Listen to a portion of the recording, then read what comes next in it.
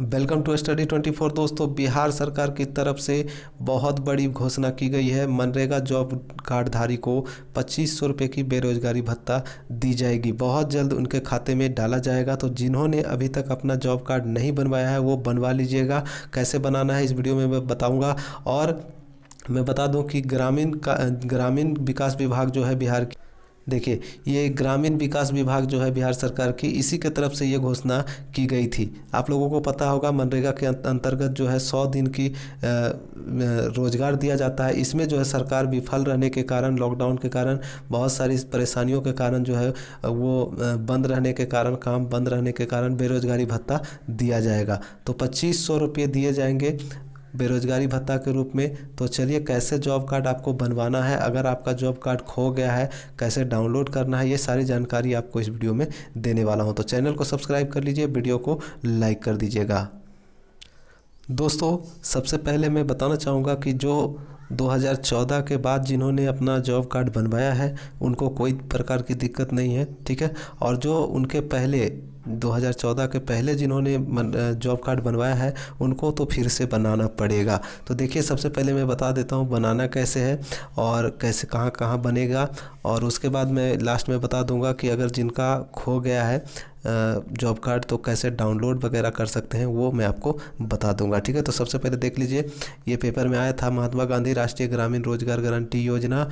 महात्मा गांधी नरेगा से जुड़कर अपने गाँव ही रोज़गार प्राप्त करें। तो इसके अंतर्गत जो है आपको पच्चीस पच्चीस सौ रुपये का बेरोजगारी भत्ता दिया जाएगा। बहुत जल्द आपके खाते में डाले जाएँगे तो बनवा लीजिएगा जल्दी से। अपना देखिए कैसे बनाना है। यदि आपके परिवार के पास सक्रिय जॉब कार्ड है तो उसमें अपना नाम शीघ्र जोड़वा ले। यदि आपके परिवार के पास जॉब कार्ड नहीं है तो शीघ्र बनवा ले।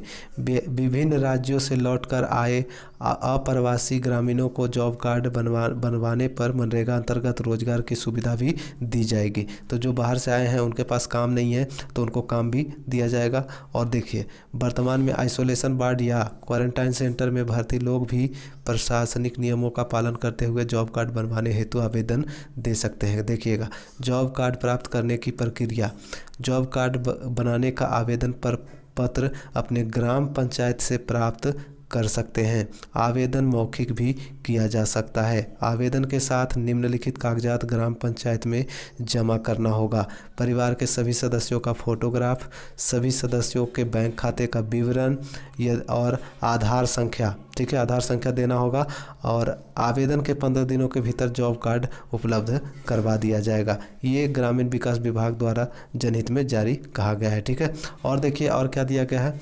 और देखिए, अगर आपको काम चाहिए, काम मांगना हो तो देखिए कैसे मांगेगा। मनरेगा के तहत कार्य मांगने की प्रक्रिया क्या है? कार्य की मांग व्यक्ति, परिवार की तरफ़ से अपने ग्राम पंचायत में की जा सकती है।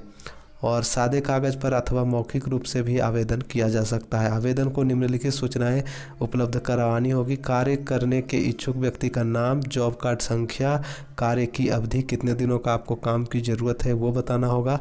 आवेदक किस तिथि से कार्य करने का इच्छुक है, ये बताना होगा।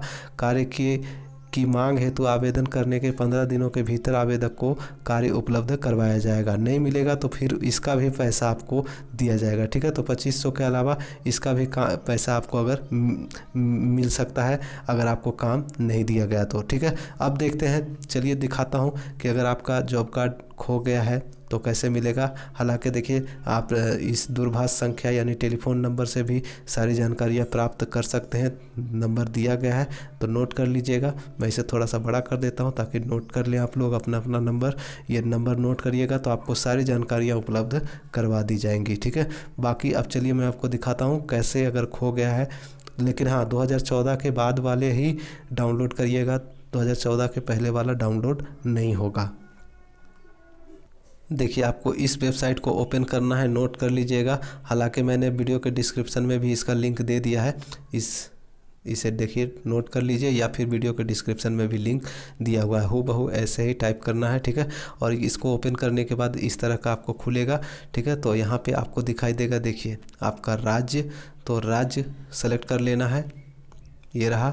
चलिए सेलेक्ट करते हैं। उसके बाद ज़िला चयन करना होगा। देखिए यहाँ पे आपको आपका ज़िला दिखाई देगा। कोई भी जो आपका ज़िला है उसे सेलेक्ट कर लीजिए। चलिए मैं एक ज़िला सेलेक्ट कर लेता हूँ। कोई भी, चलिए ये सेलेक्ट कर लिया। और उसके बाद आपको कोई भी जो आपका ब्लॉक है उसे सेलेक्ट करना होगा। यहाँ पर ब्लॉक दिया गया होगा। और ब्लॉक जो आपका है वो सेलेक्ट कर लेंगे। सेलेक्ट करने के बाद, उसके बाद आपको पंचायत सेलेक्ट करना है, ठीक है? आपका पंचायत कौन सा है, वो सेलेक्ट करना है। उसके बाद देखिए, ये चलिए कोई भी सेलेक्ट कर लीजिए, जो आपका है, उसे ही सेलेक्ट करिएगा।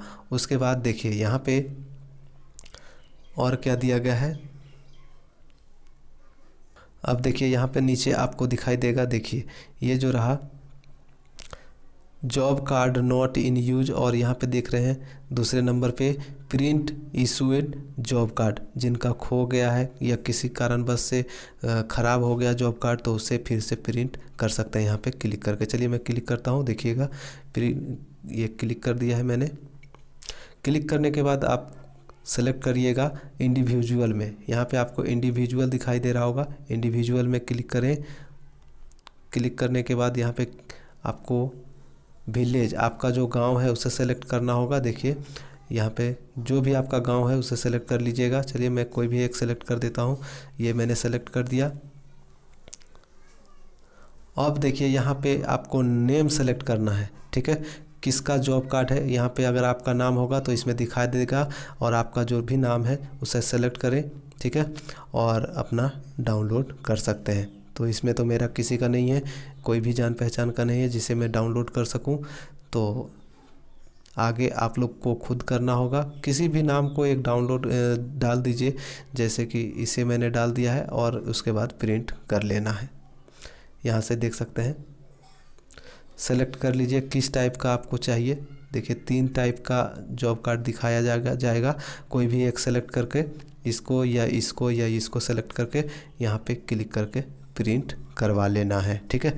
तो आपका जॉब कार्ड प्रिंट हो जाएगा। तो दोस्तों, वीडियो कैसा लगा ज़रूर बताएँ और कमेंट करके ज़रूर बताइएगा और वीडियो को लाइक कर दीजिए और लिंक मैंने दे दिया है डायरेक्टली आप खोल सकते हैं वेबसाइट को। तो चलिए, मैं मिलूँगा नेक्स्ट वीडियो में, तब तक के लिए बाय जय हिंद।